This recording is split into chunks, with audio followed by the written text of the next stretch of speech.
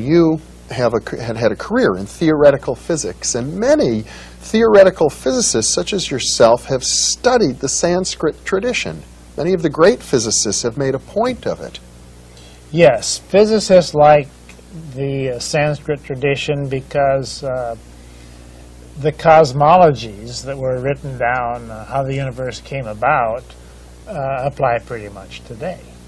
In other words, that there's a sense amongst physicists that uh, the, the precision, the rigor, the depth of insight amongst the ancient Sanskrit uh, wise people, the rishis, uh, speaks to us today, to the scientific mind. Oh, very much so. Uh, the story is told about uh, Oppenheimer, Robert Oppenheimer, when he saw the first blast, nuclear blast at Alamogordo. And the press mm-hmm. said, What were you thinking when you saw the first atomic bomb?